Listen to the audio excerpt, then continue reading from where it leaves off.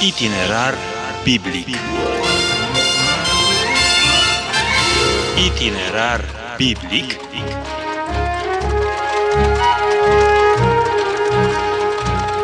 Itinerar biblic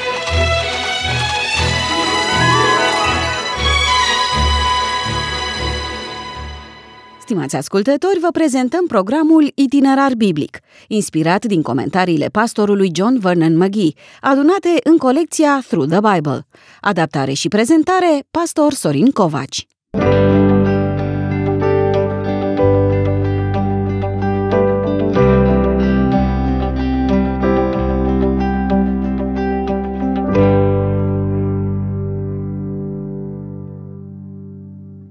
Dragi ascultători, am ajuns la un nou capitol remarcabil. Remarcabil pentru că se ocupă de sărbătorile solemne ale lui Dumnezeu. Sărbătorile sfinte erau perioade ale bucuriei. Plânsul era numai pentru una din ele și anume pentru ziua ispășirii. Celelalte trebuia să fie zile ale bucuriei și veseliei. Dumnezeu nu a dorit niciodată ca poporul lui să vină la el plângând. El i-a dorit plin de bucurie înaintea lui. Aceste sărbători furnizează calendarul lui Dumnezeu pentru toate timpurile. O altă traducere pentru sărbătoare aici este cea de timp anume stabilit. Dar cred că sărbători sfinte este traducerea cea mai potrivită. Detaliile pentru cele mai multe din aceste sărbători sunt date în alte locuri din Scriptură. Aici însă ne sunt oferite într-o ordine anume. Sunt șapte sărbători, în afară de ziua de sabat care este dată prima. Ziua de sabat nu era o zi de sărbătoare, dar este inclusă aici pentru că ea este unitatea de măsură pentru timp. Numărul 7 este important în acest capitol și ca pondere și ca semnificație, la fel ca în cartea Apocalipsa. Este unitatea de măsură a timpului. Ziua de sabat era ziua a șaptea. Sunt șapte sărbători. Rusalile sunt sărbătoarea celei de-a șaptea săptămâni cea de-a șaptea lună plină cu ziua ispășirii care îi urmează și sărbătoarea corturilor constituie sărbătoarea lunii a șaptea. În capitolul 25 vom avea ocazia să vorbim despre anul sabatic și despre anul de veselie, totul fiind adaptat la numărul șapte. Erau șapte zile de pâine nedospită și șapte zile de locuit în corturi în timpul sărbătorii corturilor. Aceste zile de strângere la oaltă sfântă aveau un scop dublu, unul practic și unul profetic.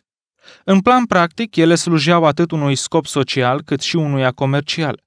Ele aduceau la oaltă cele 12 seminții în închinare și părtășie. Tuturor bărbaților li se cerea să meargă la Ierusalim și să se închină cu ocazia următoarelor trei sărbători, Paștele, Rusalile și sărbătoarea corturilor. Vedeți așadar că toate acestea aveau rolul de a uni poporul și de a crea legături strânse între seminții. Oamenii veneau din toate colțurile țării și schimbau idei, dar și mărfuri. Eșecul în respectarea acestor instrucțiuni a fost unul din factorii hotărători care au dus la scindarea națiunii în împărăția de sud și împărăția de nord. Cele mai multe din aceste sărbători erau legate de viața agricolă a țării, în special de secerișul recoltei.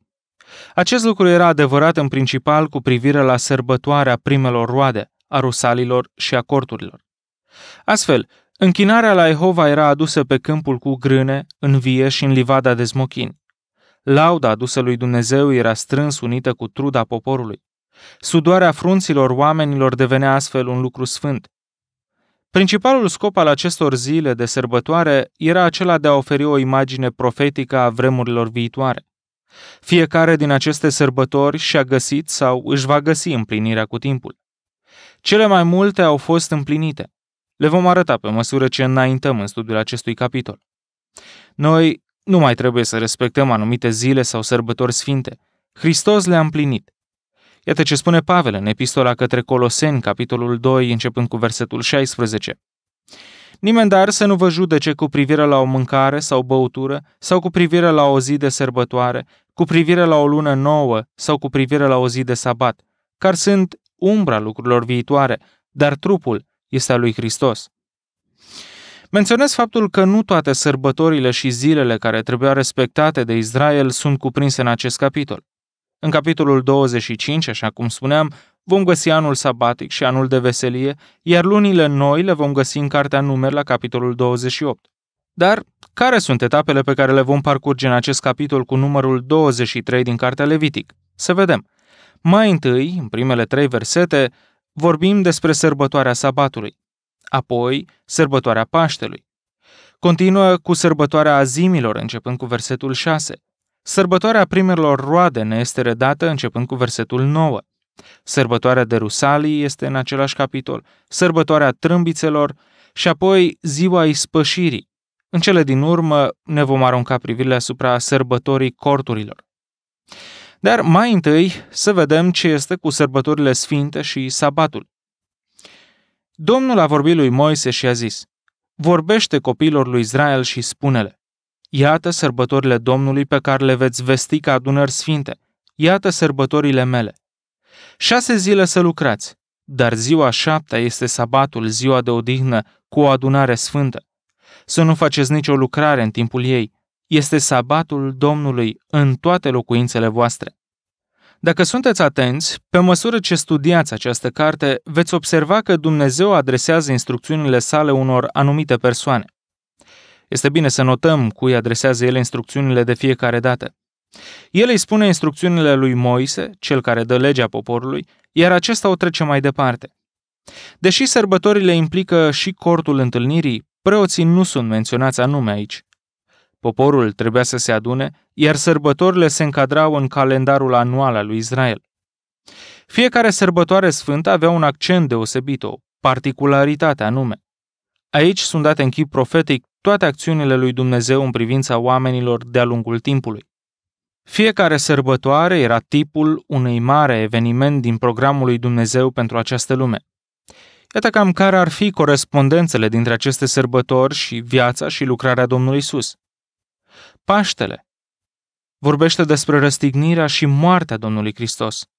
Azimile ne vorbesc despre părtășia pe care o avem cu Hristos pe baza morții sale. Primele roade, învierea lui Hristos. Rusalile, începuturile bisericii. Trâmbițele, Israelul a dus înapoi în țară. Ziua ispășirii vorbește despre lucrarea lui Hristos pe cruce.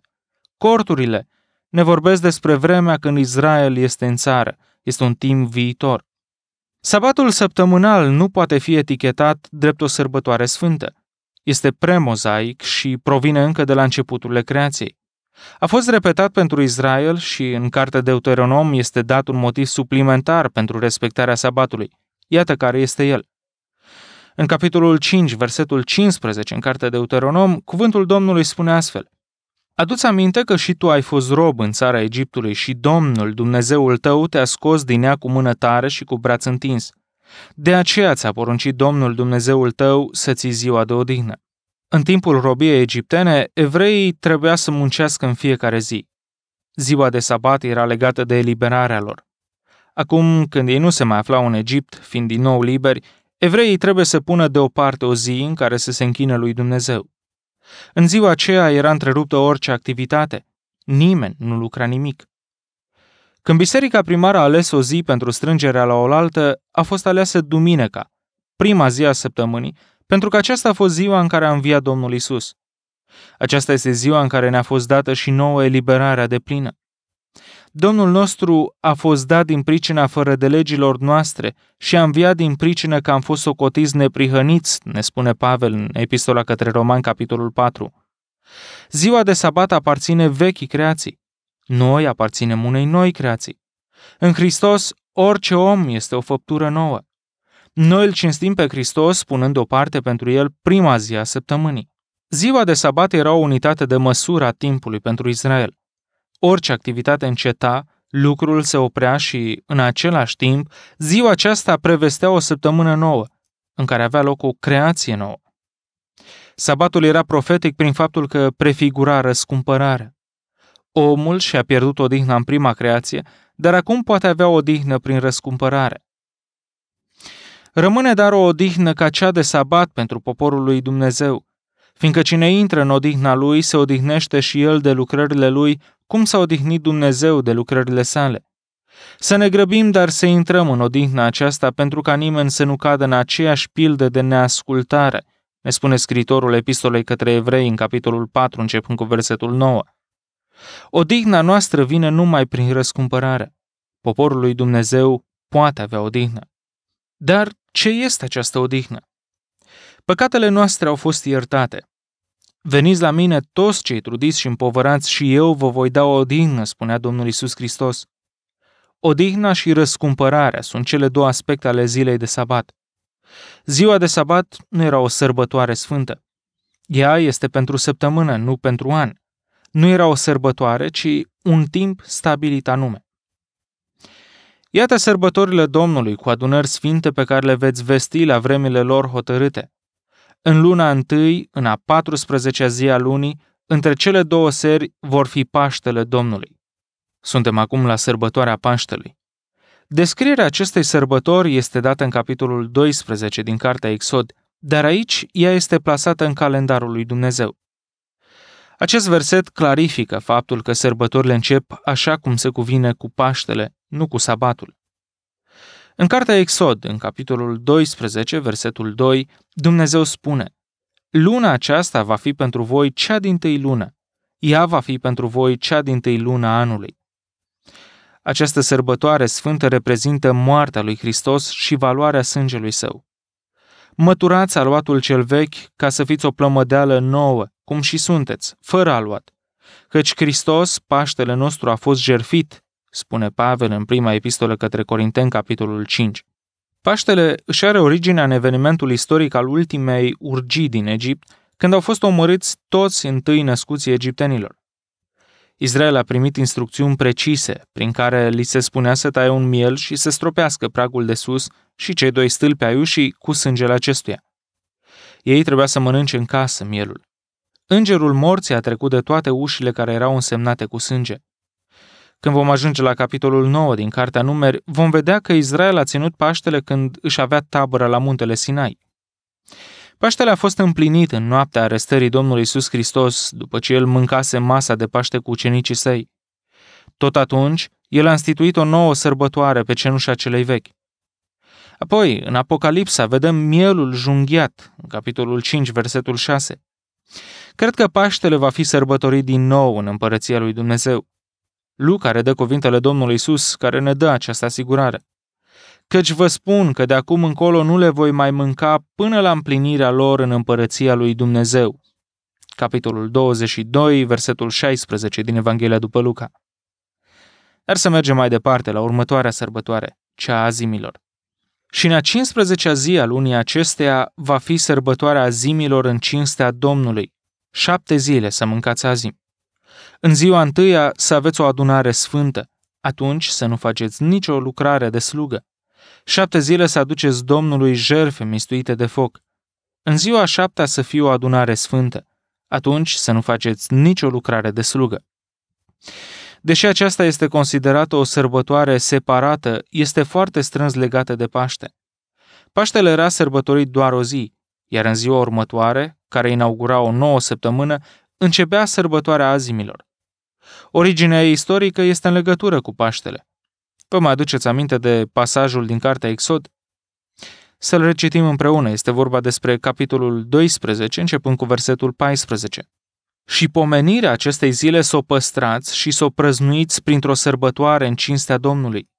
Să o prăznuiți ca o lege veșnică pentru urmașii voștri. Timp de șapte zile veți mânca azim. Din cea din tâi zi veți scoate aluatul din casele voastre, căci oricine va mânca pâine dospită din ziua întâi până în ziua șaptea va fi nimicit din Israel. În ziua din tâi veți avea o adunare de sărbătoare sfântă și în ziua șaptea veți avea o adunare de sărbătoare sfântă. Să nu faceți nicio muncă în zilele acelea, veți putea numai să pregătiți mâncarea fiecărui ins.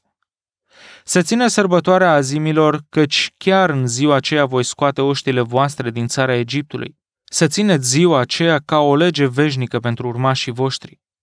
În luna întâi, din a 14-a zi a lunii seara, să mâncați azimi, până în seara zilei a 21 a lunii. Timp de șapte zile să nu se găsească aluat în casele voastre, căci oricine va mânca pâine dospită va fi nimicit din adunarea lui Israel, fie străin, fie băștinaș. Să nu mâncați pâine dospită, ci în toate locuințele voastre să mâncați azimi. Moise a chemat pe toți bătrânii lui Israel și le-a zis, Duceți-vă de luați un miel pentru familiile voastre și junghiați Paștele. Să luați apoi un mănunc de isop, să-l muiați în sângele din strachină și să ungeți pragul de sus și cei doi stâlpi ai ușii cu sângele din strachină. Nimeni din voi să nu iasă din casă până dimineața. Când va trece Domnul ca să lovească Egiptul și va vedea sângele pe pragul de sus și pe cei doi stâlpi ai ușii, Domnul va trece pe lângă ușă și nu va îngădui nimicitorului să intre în casele voastre ca să vă lovească. Să păziți lucrul acesta ca o lege pentru voi și pentru copiii voștri în veac. Când veți intra în țara pe care vă va da Domnul după făgăduința lui, să țineți acest obicei sfânt. Și când vă vor întreba copiii voștri ce însemnează obiceiul acesta, să răspundeți, este jerfa de Paște în cinstea Domnului, care a trecut pe lângă casele copiilor lui Israel în Egipt, când a lovit Egiptul și ne-a scăpat casele noastre. Poporul s-a plecat și s-a închinat până la pământ. Și copiii lui Israel au plecat și au făcut cum poruncise Domnului Moise și lui Aron. Așa a făcut.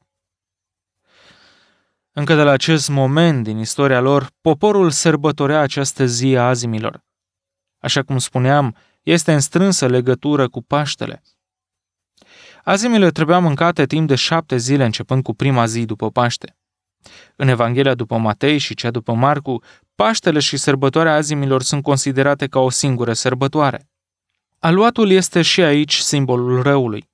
Pâinea nedospită, adică azimile, simbolizează părtășia cu Hristos pe baza răscumpărării sale, părtășie care este menținută printr-o umblare în sfințenie din partea credinciosului. Iată ce spune Pavel în prima sa epistolă către Corinteni, în capitolul 5. Măturați aluatul cel vechi, ca să fiți o plămădeală nouă, cum și sunteți, fără aluat, căci Hristos, Paștele noastre, a fost jertfit. Să prăznuim dar praznicul nu cu un aluat vechi, nici cu un aluat de răutate și viclenie, ci cu azimile curăției și adevărului. În timpul acesta nu era îngăduită nicio lucrare de slugă. În zilele acelea, participanții la sărbătoare trebuia să se odihnească de ocupațiile lor zilnice. Mai mult, toți erau pe picior de egalitate. Dragii mei, în fața Domnului, când este vorba de răscumpărarea făcută prin Domnul Isus Hristos, cu toții suntem egali. Toți avem aceleași păcate, toți avem aceeași nevoie de iertare. În Israel se aduceau jerfe de foc, adică arderi de tot, daruri de mâncare, jerfe pentru păcat. Prima zi și ziua șaptea din această săptămână de sărbătoare erau zile de adunare sfântă. Nouă, Paștele ne vorbește despre moartea lui Hristos pentru păcatele noastre. Dar noi nu rămânem curați, în părtășie cu El, numai pe baza faptului că Hristos a murit pentru noi. Noi rămânem curați prin mărturisirea continuă a păcatelor noastre. Domnul nostru le-a spus ucenicilor săi, Dacă nu vă spăl eu, nu veți avea parte deloc cu mine. Aceasta înseamnă că valoarea sângelui lui Hristos continuă să fie aceeași pentru cel credincios după ce acesta este mântuit. Sângele lui Hristos continuă să ne curățească. Aceasta este semnificația sărbătorii azimilor. Următoarea sărbătoare este cea a primelor roade. Domnul a vorbit lui Moise și a zis, Vorbește copiilor lui Israel și spune-le, când veți intra în țara pe care vă dau și când veți secera semănăturile, să aduceți preotului un znop ca pârga secerișului vostru. El să legene znopul într-o parte și într-alta înaintea Domnului ca să fie primit. Preotul să legene într-o parte și într-alta a doua zi după sabat. Această sărbătoare nu putea fi ținută decât după ce Israel a ajuns în țara promisă. Când își semănau grâul, ei erau atenți să vadă primele grăunțe încolțite.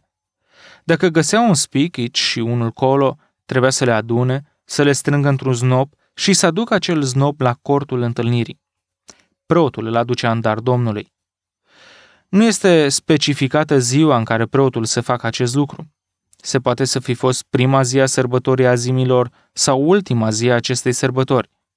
Lucrul important pe care îl putem observa era că aceasta se întâmpla în prima zi a săptămânii. Acest lucru este important pentru că despre Hristos se spune că este pârga, adică prima roadă a celor adormiți. Momentul învierii lui Hristos este arătat foarte clar în Matei, capitolul 28. Iată cum sună versetul 1. La sfârșitul zilei sabatului, Când începea să se lumineze înspre ziua din tâia săptămânii, Maria Magdalena și cealaltă Marie au venit să vadă mormântul. Și tot atunci au găsit mormântul gol. Deci, în cea din tâi zi a săptămânii, Hristos, pârga celor adormiți, adică primul rod, a fost înviat din morți. Dragii mei, va veni o zi în care și biserica va avea parte de înviere. Dar pentru un moment, el este singurul care a fost înviat într-un trup glorificat. Odată cu răpirea bisericii vom învia și noi. Morții vor ieși înviați din morminte așa cum a ieșit Hristos. Hristos este cel din tâi rod, apoi, la venirea lui, vor învia cei ce sunt ai lui. Cel puțin așa consemnează și Ioan în Evanghelia sa în capitolul 12, versetul 24. Adevărat, adevărat vă spun că dacă grăuntele de grâu care a căzut pe pământ nu moare, rămâne singur, dar dacă moare, aduce multă roadă. Dragii mei, noi suntem roada primului grăunte, Domnul Iisus Hristos. Aducerea primelor roade și oferirea lor Domnului constituie o indicație a faptului că urmează secerișul recoltei. Credincioșii sunt această recoltă. Dragii mei, o să ne întoarcem la această sărbătoare pentru că este una foarte importantă. Este important însă să înțelegem că noi trebuie să purtăm o veșnică recunoștință Domnului Isus, El primul rod, mort pentru ca noi să venim la viață și să aducem la rândul nostru roadă. Să nu uităm aceasta. Aici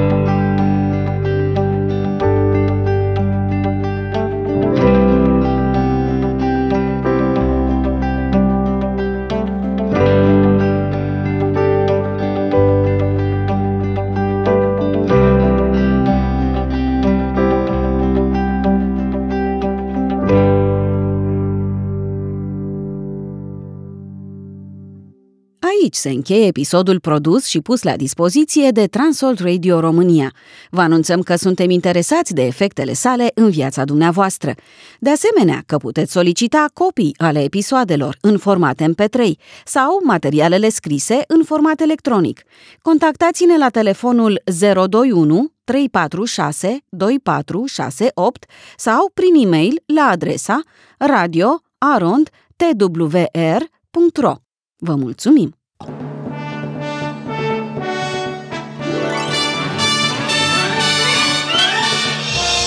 Itinerar biblic. Itinerar biblic.